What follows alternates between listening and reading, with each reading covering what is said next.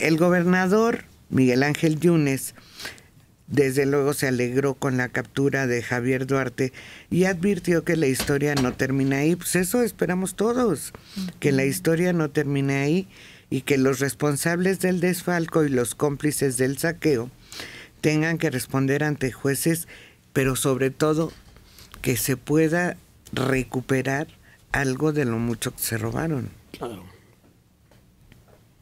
Son pagos hechos a empresas fantasmas sobre servicios que no se llevaron a cabo. Entonces es cuestión de seguir el dinero y ver dónde está, dónde, dónde fue a dar. Sí, porque según Yunes han recuperado un poco más de mil millones de pesos por esos contratos fantasmas. Se pudo recuperar, pero es muchísimo más lo que se tiene todavía y tendrán que demostrar que lo que falta de los recursos de gobierno hayan tenido una aplicación legal o caerán más empresarios que firmaron contratos apócrifos. Sí. Sí, no, era como para hacer un emporio del Estado, con grandes obras y, y verdaderamente de relumbrón y no hay nada. Y lo que están recordando algunos algunos medios al hacer la historia es aquella afirmación de Enrique Peña Nieto en los medios de comunicación de que era el nuevo PRI y pone a Javier Duarte, a César Duarte y a Roberto Borges como, como ejemplo de ese nuevo PRI, porque le preguntan directamente qué, qué es lo que se renovó en el partido y que dará un aire diferente a la política que ejerzan los priistas. Y claritos, claritos. Y lo están repitiendo y repitiendo y repitiendo. Entonces, si lo hicieron como medida política, está bastante bastante complicado. Resulta contraproducente, ¿no? Porque es nada más, ah, que no te acuerdas de esos eh, mensajes en Twitter en donde, mira, ya no estaban en campaña, ya estaban ejerciendo el poder y de alguna forma tenían el respaldo del preciso cuando les manda, y va el señor Duarte a hacer, y mi amigo, y mi amigo fulano de tal, y señalando ahí, pero es impresionante que nos detenemos mucho en los dineros porque claro, es muy importante, dependían de ahí muchos programas sociales, pero la inseguridad brutal, ¿qué cuentas va a entregar o podría decir de toda la inseguridad y todos esos pactos que hizo con cuántos grupos de delincuentes con los que los dejó hacer y fosas y fosas y desaparecer gente? Fue el mandato en el que hubo más muertes de periodistas, de reporteros, amenazas a grupos enteros periodísticos, a muchos sectores en donde hasta la fecha siguen muy lastimados por las consecuencias que dejó este señor de su descuido, de su omisión, de sus pactos con todos los grupos de delincuentes, porque algo se llevó. Tanto es así que aquellos actuaron, pero como Juan por su casa. Desde el momento en el que asigna al señor de seguridad, que estaba como en seguridad pública, y de repente le encuentran como 11 casas en Estados Unidos, dicen, pero ¿de dónde? Si el tipo acaba de llegar al cargo y era muy íntimo amigo de don Duarte. Es que sí, efectivamente, y todavía no señalaste tú los que detuvieron con 25 millones de pesos en efectivo. Ah, que iban a hacer para una fiesta, ¿no? Feria. El festival. Cumbre Tajín. Cumbre Tajín. 296 homicidios en un periodo muy corto de el principio de 2016. 18 periodistas asesinados. Mm, y la cárcel para Flavino Ríos, que fue sucesor en su cargo y está acusado y ahora sí ya hay una claridad en cuanto a las acusaciones que se le hace, que está enfermo, ¿verdad? Que lo tuvieron que trasladar al hospital. Yo creo que también me enfermaría. Sí, yo también, ¿eh? en eso sí sus exsecretarios, el de Finanzas, el de Seguridad Pública y el de Comunicaciones, los tres detenidos. Mm, Y hay todavía más que le pueden buscar. Y por eso la pregunta es, ¿y de qué se ríe Javier Duarte? Sí, al parecer él era el líder de una serie de delincuentes, pero a la alta escuela. Al mal tiempo, buena cara. Por eso.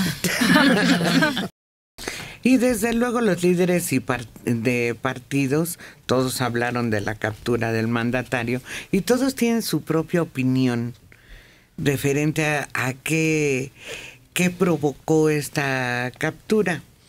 El presidente de Morena dice que Javier Duarte es un chivo expiatorio y se busca simular el combate a la corrupción. Por su parte, el gobernador de Veracruz se adjudicó la caída y detención de Duarte. Dice que los principales liderazgos de oposición demandaron recuperar los recursos y que él se comprometió a que Duarte sería detenido y se le aplicaría la ley y ya lo tienen listo en la cárcel. yo no entiendo en qué forma puede ser un chivo expiatorio. Pues es un chivote expiatorio. el delincuente más eh, grande y más dañino de los últimos años. ¿no? Eh, si hubieran agarrado al, no sé, a su secretario, una cosa, ese es un chivo expiatorio. Pero este es, es, el, mero, jefe de la mafia. Sí, sí, el más, el más dañino. ¿Cuál chivo expiatorio? El coordinador del PAN dice que van a vigilar que el proceso judicial se lleve con total transparencia y en el más alto grado de profesionalismo. Ahí sí, que lo acusen y le todo lo que se, se pueda comprobar que es culpable, que se le claro. se le castigue ahí sí con todo el peso de la ley. porque, dejó a Veracruz en la ruina. Sí, porque luego llegan al país y inmediatamente salen, fijan una fianza y salen. Pues no, el de oceanografía pagó 75 millones de pesos de fianza y ya anda libre. Chino, libre. Y los con los que tuvo la firma de los contratos, ¿dónde andan? Los funcionarios de Pemex que firmaron esos contratos, ¿dónde están? En la invisibilidad. Sí. Pues mira, ojalá de verdad esta detención tenga frutos, porque hemos visto que han detenido a otros exgobernadores y resulta que el expediente no está bien hecho, bien elaborado y se van. Y en el caso de Miguel Ángel Yunes, se, le ha criticado mucho esa postura de fiscal que él ha tomado en cuanto a Duarte. O sea, se ha enfocado desde que tomó el cargo de, presidente, de gobernador de, de Veracruz, de estar como que totalmente enfocado a buscar todo, todo, todo lo relacionado con, con Javier Duarte, pero ¿qué tanto ha hecho realmente él por su estado hasta el momento? Por ahí ha recuperado ciertas cantidades de dinero y ha hecho ciertos pagos como para acallar todo ese coraje que hay por parte de la población, ¿no? Medio les pagaron a los médicos, pagaron otros fondos a otro sector, pero se le ha criticado eso, de que él se ha portado como si fuera el fiscal de ese caso de Javier Duarte.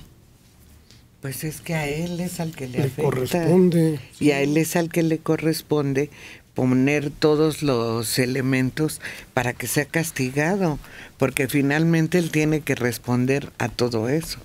Él como gobernador tiene que responder a cómo se va a resolver el asunto del fraude, del desfalco y del robo al gobierno.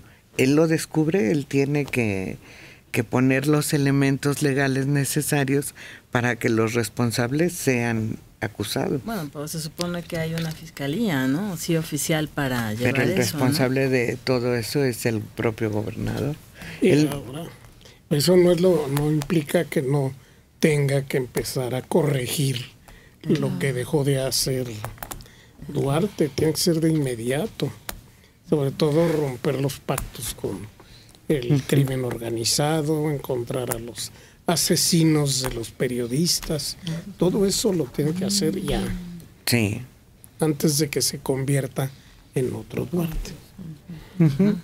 Porque ese es el riesgo que corre si empieza a voltear para otro lado y no se termina con esos vínculos de corruptelas entre diferentes sectores.